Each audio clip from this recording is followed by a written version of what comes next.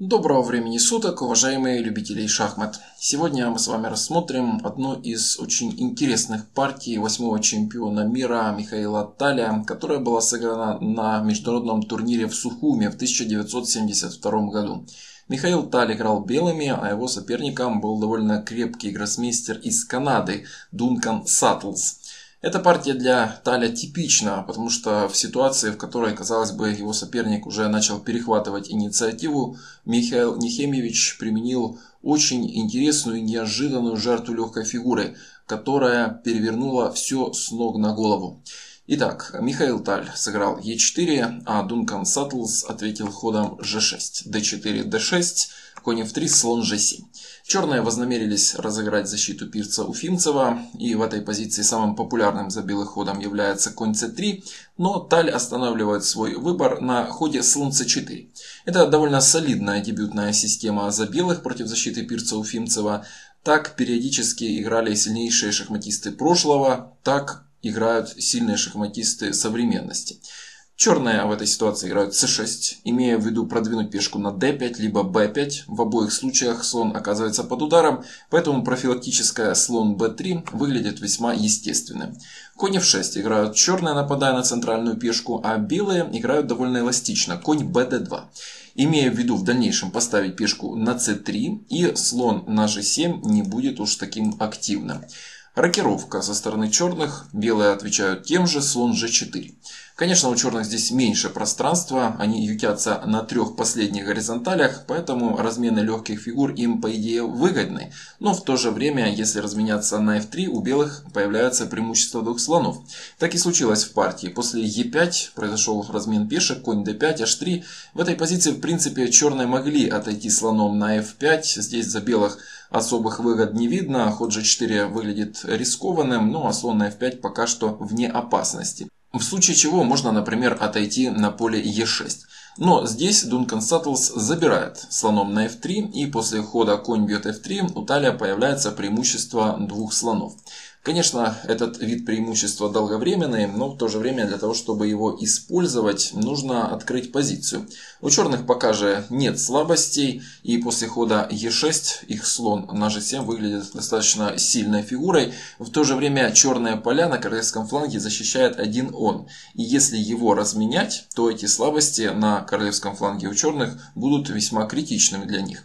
Белые пока играют ферзь e2, черные ферзь c7. Так или иначе, открытая линия d не место для сильнейших фигур обоих соперников. Ладья e1. Избыточная защита центральной пешки e5, черные играют конь d7 и c4. Рано или поздно этот ход нужно было сделать, и вот сейчас Таль прогоняет красиво стоящего на d5 черного коня, тот отходит на e7, Таль развивается, снова нападая на этого коня, ладья f8 защита и ладья а d1. Таль полностью закончил развитие, у него очень инициативная позиция, правда, ничего конкретного пока не видно. Дункан Саттлс играет опять. Таким образом, он не только угрожает ходом А4 прогнать слона с поля Б3, но еще и обеспечивает своему коню удобную стоянку на c5. После отхода слона с поля b3 угрозы b2, b4 не будет. Здесь очень интересный момент. Михаил Таль мог сразу сыграть слон c2, Движок пишет, что это лучшее решение, но восьмой чемпион мира решил заблокировать пешку, поставив слона на поле а4. Видимо, таким образом он не только мешал черным сразу поставить пешку на b5, но еще и заманивал черного коня на поле c5. Черные, конечно, сыграли конь c5, белые отошли слоном на c2 и ладья а d8. Чего добился Таль? Определение позиции черного коня, который в принципе мог стать и на b6, а мог оставаться на d7, создавая давление на пешку e5. А3 играют белые, имея в виду провести b2, b4 и согнать коня с поля c5. Черные разменивают одну пару ладей и в этой позиции играют конь d7.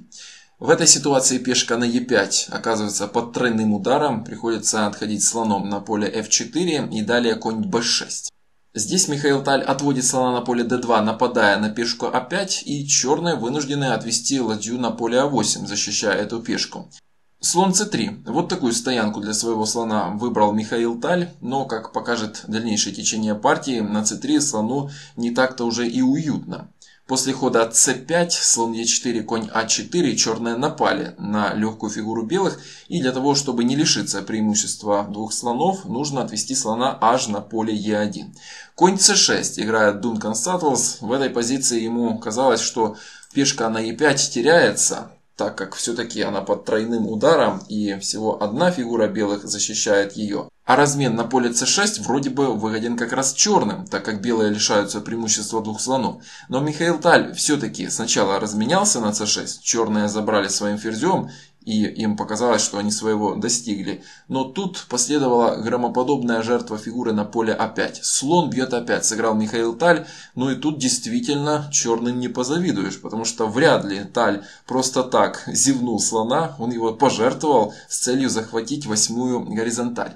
В этой позиции сильнейшим является ответное взятие на b2, то есть контр-жертва фигуры, Забираем на b2. И если тут забрать на a5, то белые побеждают. Вот в таком интересном варианте. Ладья d8, слон f8 и ферзь d2. Угрожая после ферзь h6 соорудить очень неприятное давление на слона f8. Ферзь c7, нападая на ладью, та отходит на e8, нужно черным что-то делать, f6 и теперь уже наносит белый ферзь удар на поле d6. Взяли, взяли, ну и здесь белые выигрывают фигуру. На король f7 следует d7, далее d8 ферзь и белые побеждают. Но тут сильнейшим продолжением является не взятие на а5, а ферзь а4 с нападением на ладью d1. Далее такой форсированный вариант. Шах, ладья d8, взяли, взяли. Белые на мгновение остались лишней фигурой. Правда, после ферзь d1 фигуру черные отыгрывают, но белые забирают важную пешку на b7 и создают отдаленную проходную по вертикали А. Позиция здесь у черных очень неприятная, но какие-то определенные шансы на спасение все же оставались. А Дункан Саттлс решил проверить основной вариант комбинации Таля, принял жертву на поле А5 и Михаил Таль внедрил ладью на d8 с шаха. Слон f8 и ферзь d2. Идея пойти ферзем на поле А6, кроме того еще и под ударом ладья на А5. Черные сыграли ферзь c7, защищая свою ладью, беря под удар ладью соперника, не давая белым пойти ферзь h6, но ладья отходит на e8, и угроза ферзь h6 снова на повестке дня. Король g7 защита, а белый ферзь становится на g5 с угрозой ферзь f6.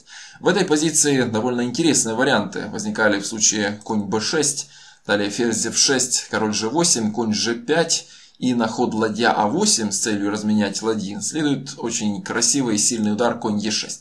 Угрожает мат ферзь G7, так как слон связан, также ферзь под ударом. Конечно, в случае взятия коня следует моментальный мат ферзь бьет F8, ну и черный здесь беззащитный. Если же тут пойти H6, попытавшись прогнать ферзя, то после ферзя f6, король g8 следует еще вот такой очень красивый ход, как конь h4. Оказывается, жертва на g6 убийственная для черных здесь неотвратима. Действительно, черные ничего не могут поделать. Поэтому здесь Дункан Саттлс решил распорядиться своими фигурами, стоящими на ферзевом фланге, следующим образом. Ладья А7. И после хода ферзь f6, король g8, конь g5, очевидно, что угрожает ход конь бьет e6, следует ферзь d7 с нападением на ладью. Ладья d8 и здесь отходить на c8 черным смысла нет, так как следует очень красивая жертва ладья бьет f8, завлечение на вертикаль f и после хода конь e6 эта вилка решает исход партии. Очень красивые, короткие, но в то же время органично вплетающиеся в основную канву комбинации варианты.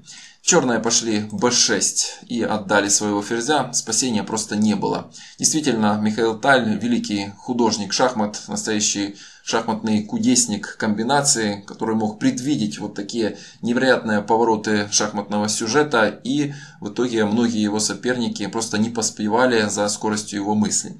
Так и случилось в этой партии. Саттлс просто отдает ферзя, ну и Таль забирает на d7 и реализует свой перевес очень энергично. b3 нападая на коня. Если в данной позиции отойти конем на поле b2, либо на c3, то последует конь e6, все тот же удар. В случае взятия ферзь e6 двойной удар, нужно закрываться. Ну и здесь ферзь d5. Очевидно, что конь запутался, ферзь спустится на поле d2 и белая получит решающий материальный перевес.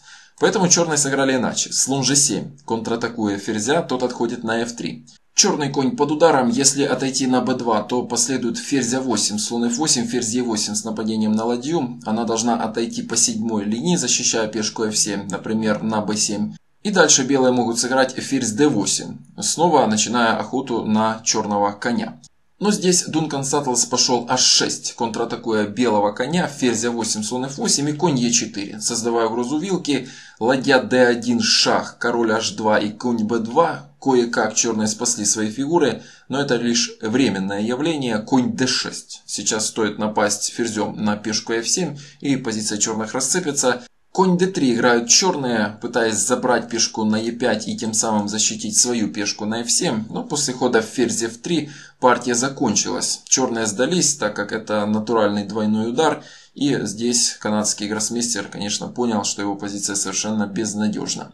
Вот такая очень интересная партия Михаила Таля. Она типична для него. Пожертвовав легкую фигуру, восьмой чемпион мира сумел предвидеть все возникающие осложнения и в итоге закономерно праздновал победу. Надеюсь, что данное видео вам понравилось, поэтому, как обычно, не забывайте ставить лайки, подписывайтесь на канал Шахматы для всех, а также Оставляйте свои комментарии. По-прежнему на канале пока что прекращены стримы, так как очень большая занятость в связи с окончанием учебного года у автора данного канала. Но как только наступит лето, мы с вами вздохнем с облегчением, стримы возобновятся, обзоры партий будут выходить чаще. Но, конечно же, до этого еще нужно дожить. Спасибо за внимание, до свидания.